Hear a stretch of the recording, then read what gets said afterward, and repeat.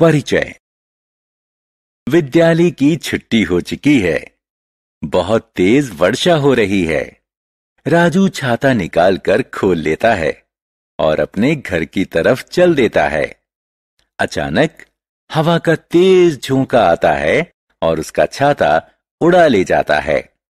वह पूरी तरह भीग गया है। वह वायु की शक्ति के बारे में चकित होते हुए घर वापस आ जाता है। इस पाठ में हम वायु के बारे में विस्तार से चर्चा करेंगे। उद्देश्य। इस पाठ के अंत में आप निम्न करने में सक्षम हो जाएँगे। वायु के गुणों को बताने में, वायु के संगठन को समझाने में, इसके घटकों के महत्व को समझाने में वायु प्रदूषण के कारणों को बताने में, पवन शक्ति को समझाने में। वायु के गुण। बच्चों, हम सब जानते हैं कि वायु हमारे चारों तरफ़ है। चारों तरफ़ देखिए, क्या आप वायु को देख सकते हैं? नहीं, क्योंकि वायु पारदर्शी और रंगहीन है। एक कागज़ का बैग लीजिए। इसमें वायु भरकर इसके मुँह को बंद कर दीजिए। क्या यह फूला हुआ दिख रहा है? अब बैग में एक छेद कीजिए। क्या हुआ?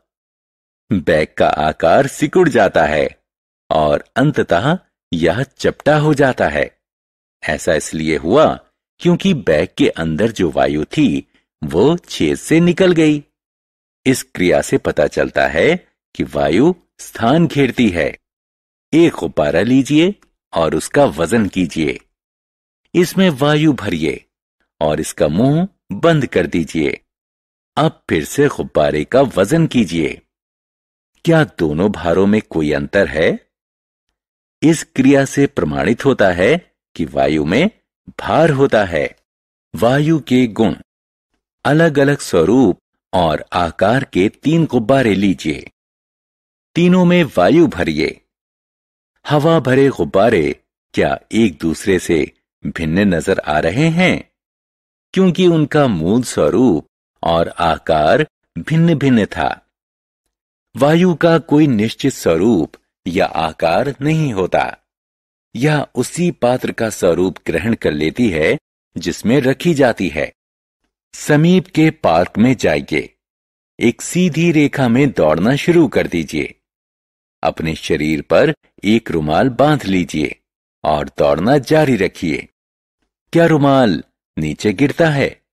नहीं, यह नहीं गिरता। आसपास की वायु रुमाल पर दबाव डालती है और आपके शरीर से चिपकाए रहती है। यह गतिविधि प्रमाणित करती है कि वायु दबाव आरोपित करती है। पृथ्वी के चारों तरफ़ की वायु को वायुमंडल कहते हैं। वायुमंडल द्वारा डाले जाने वाले दबाव को वायुमंडलीय दबाव कहते हैं। अधिक ऊंचाई पर वायु का घनत्व कम हो जाता है, इसलिए ऊंचाई बढ़ने के साथ ही वायुमंडलीय दबाव कम होता जाता है। वायु के अवयव। वायु गैसों का मिश्रण है। हवा में मुख्यतः तीन गैसें उपस्थित होती हैं। नाइट्रोजन N2, ऑक्सीजन O2 और कार्बन डाइऑक्साइड CO2 वायु में नाइट्रोजन 78 प्रतिशत ऑक्सीजन 21 प्रतिशत और कार्बन डाइऑक्साइड शून्य दशमलव शून्य चार प्रतिशत होती है। इन तीन गैसों के अतिरिक्त वायु में जलवाष्प धूल के कण और कुछ दूसरी गैसें भी होती हैं। जिन्हें नोबल गैस कहते हैं, क्योंकि नोबल गैसें नगण्य मात्रा में पाई जाती हैं, इसलिए उन्हें विरल गैसें भी कहते हैं। वायु के घटकों का महत्व।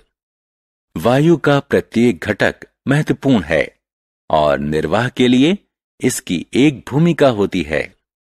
ऑक्सीजन श्वसन के लिए आवश्यक होती है, और इसलिए ये सभी प्राणियों के अस्तित्व के लिए ज़रूरी होती है।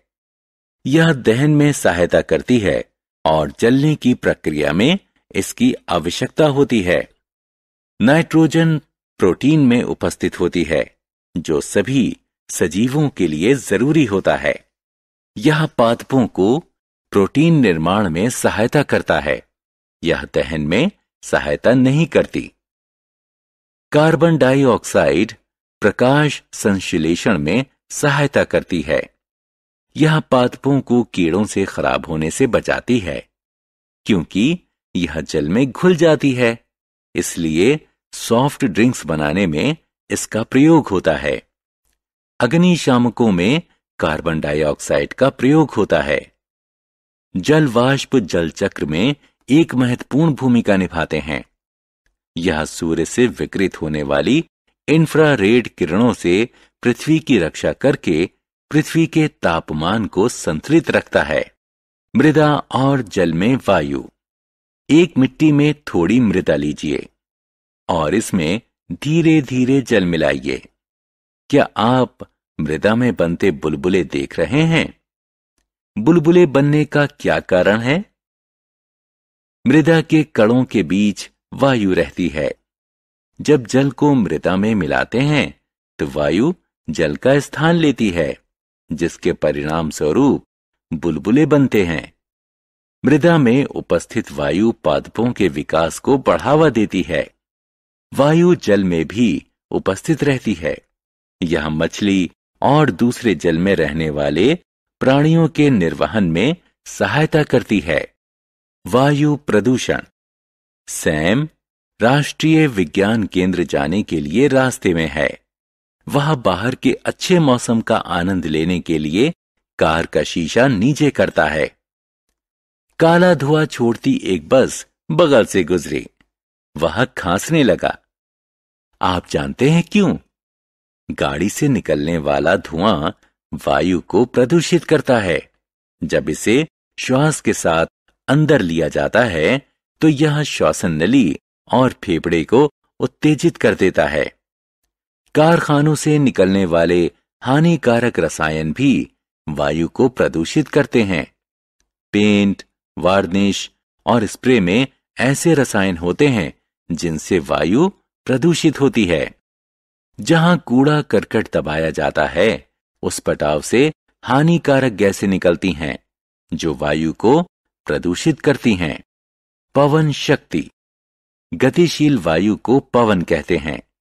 पवन बादलों को चलाते हैं और पृथ्वी पर समान रूप से विस्तृत वर्षा कराते हैं। पवन शक्ति का प्रयोग विद्युत उत्पादन, बैटरी को चार्ज करने, जल निकासी, कृषि की सिंचाई इत्यादि में होता है। पवन शक्ति के प्रयोग का सबसे बड़ा लाभ है कि पवन अक्षय है। इसके द्वारा जनित विद्युत प्रदूषण मुक्त होती है। सारांश।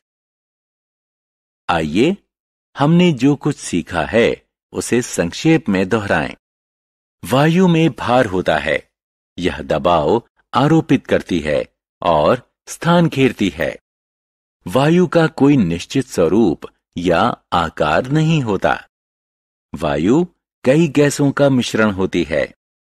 वायु में नाइट्रोजन, ऑक्सीजन और कार्बन डाइऑक्साइड जलवाष्प, धूल के कण और कुछ दूसरी गैसें भी होती हैं। वायु के प्रत्येक घटक की एक महत्वपूर्ण भूमिका होती है।